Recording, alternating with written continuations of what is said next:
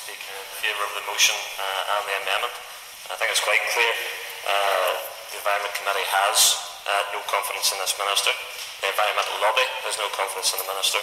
University students uh, here in Belfast have no confidence in him, uh, as do many of his party colleagues. Uh, however, an eccentric children's TV presenter who we haven't seen for 20 years supports the minister and one or two people in Larne as well, by the sounds of it. But uh, Ras the programme for government clearly states that action is needed to reduce our impact on climate change. The DUP signed up to this, uh, and the DUP also signed up to tackling the impact that human uh, activity has on climate change. So then, why did the DUP appoint someone? Will. was uh, that the DUP has signed up to all of this, and, and I mean, as if the, the, the, Sinn Féin are some sort of wonderful party.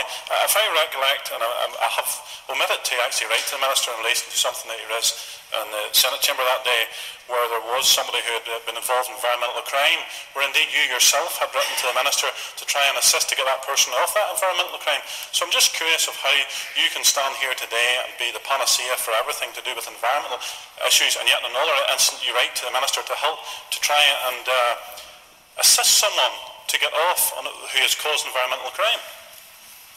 Thank, thank, thank the member for his contribution. I would ask him to check his facts again and indeed read the letter if he's actually seen it.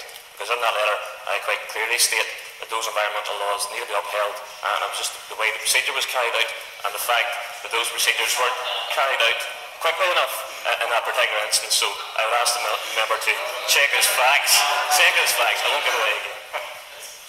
So then why appoint someone to the ministry uh, who has consistently made a mockery of his own party?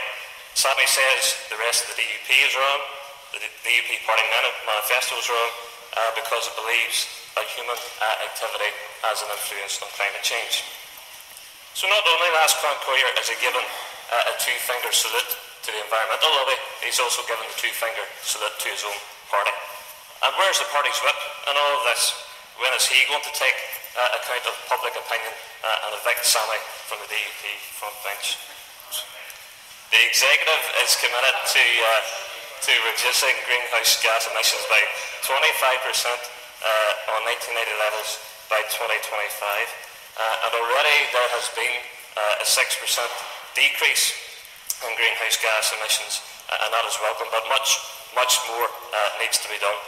I indeed support the amendment climate change does need to be mainstreamed uh, across different departments because other departments do have responsibilities, in particular uh, the Department of Social Development uh, and the Department of Regional Development.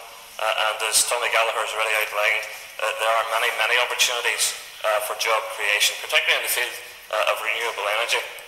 And that is something that the executive should look at, look at in a more joined up way.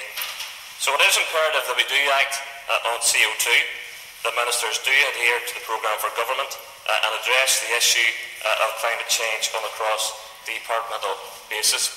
I would just say to the minister as well, uh, the All-Party Working Group on Climate Change uh, will be meeting with a member from the Met Office today who will be outlining uh, the, the, dangers uh, to this society and others on the basis of weather change and weather patterns in, in the future at half past 12. So he's very welcome to join us if he wants to learn something.